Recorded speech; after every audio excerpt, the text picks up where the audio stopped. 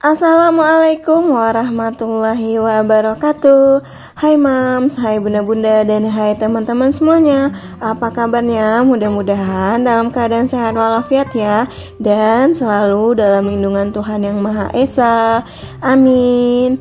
Nah kita ketemu lagi di vlog saya yang sederhana ini ya teman-teman. Dan kebetulan ini udah akhir bulan Saatnya kita mengevaluasi budgeting selama uh, Februari kemarin ya teman-teman. Untuk mengevaluasi budgeting seperti ini sangat perlu untuk saya ya teman-teman Karena uh, dengan ini saya bisa melihat pengeluaran mana yang akan perlu saya tambah Dan pengeluaran mana yang bisa saya tekan atau saya kurangi Sebelum masuk ke evaluasi, disclaimer dulu ya teman-teman. Saya di sini hanya sharing pengeluaran rumah tangga tidak sama dan saya juga bukan ria atau uh, pamer dengan keuangan saya, bukan ya teman-teman karena saya bukan ahli keuangan juga. Cuman saya hanya belajar untuk mengatur keuangan rumah tangga saya agar tidak bocor atau tidak boros gitu ya teman-teman.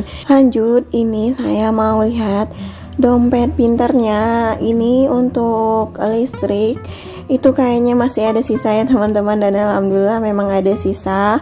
Sisanya itu 35.000 dan saya anggarinnya itu 300.000 untuk listrik. Nah ternyata kemarin saya bayar listrik 265.000 dan untuk wifi itu ada sisa alhamdulillah masih uh, eh, 15.000 dan untuk wifi saya bayar kemarin 375.000 Lanjut untuk dana bulanan habis untuk belanja mingguan saya juga semuanya habis itu saya bagi menjadi empat minggu.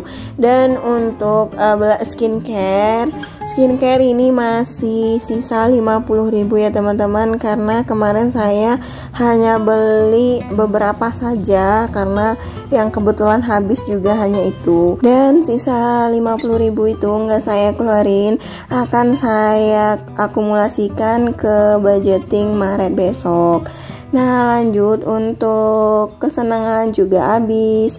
Untuk uh, lain-lainnya juga habis ya teman-teman. Jadi sisanya hanya itu aja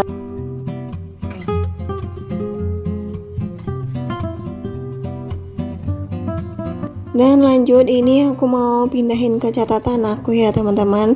Untuk kontrakan 750.000 budgetnya itu udah habis. Untuk listrik yang tadi sudah saya bilang saya budgetkan 300.000 Realnya 265.000 dan sisa 35.000 untuk wifi 390.000 budgetnya dan realnya itu 375.000 sisa 15.000 dan itu maafkan catatan saya kebalik ya teman-teman. Dan untuk tabungan pendidikan saya anggaran 100.000 udah saya masukin ya teman-teman. Untuk tabungan juga udah untuk cicilan 110.000 udah saya bayarin juga. Dan untuk sampah itu 40.000 dan total dari uh, keseluruhannya itu 1.790.000 pengeluarannya. Dan sisanya itu masih ada 50.000 lagi. Alhamdulillah masih ada sisa ya teman-teman dan untuk pengeluaran tidak tetap untuk belanja bulanan 300.000 budgetnya udah habis. Belanja mingguan 600.000 juga udah habis. Susu anak 200.000 juga udah habis. Jajan anak 100.000 juga udah habis. Untuk skincare 50.000 eh, budgetnya itu 100.000 masih sisa 50.000 untuk kesenangan saya anggarin 100 ribu udah habis. Untuk servis motor saya anggarin 150 ribu juga udah habis. Untuk dana tak terduga saya anggarin 100 ribu masih ada sisa 25 ribu dan kepake itu 75 ribu.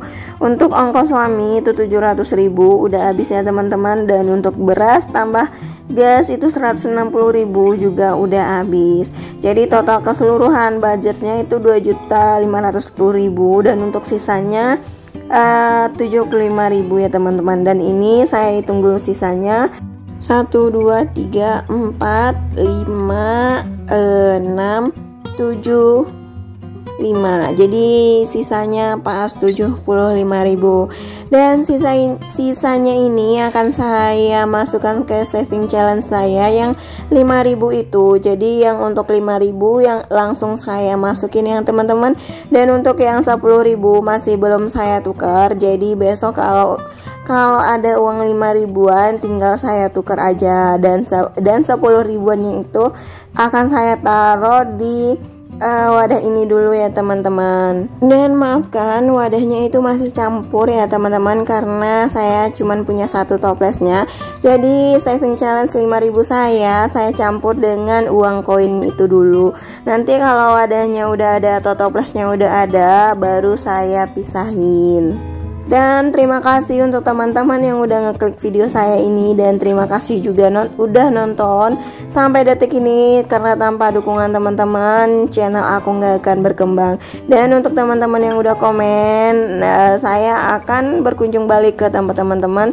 Dan maafkan uh, saya uh, slow re re slow respon sekarang ya teman-teman. Tapi insya Allah saya akan kunjungi channel teman-teman Nah, sekian dulu video saya kali ini. Terima kasih untuk semuanya. Sampai ketemu di video selanjutnya. Assalamualaikum warahmatullahi wabarakatuh.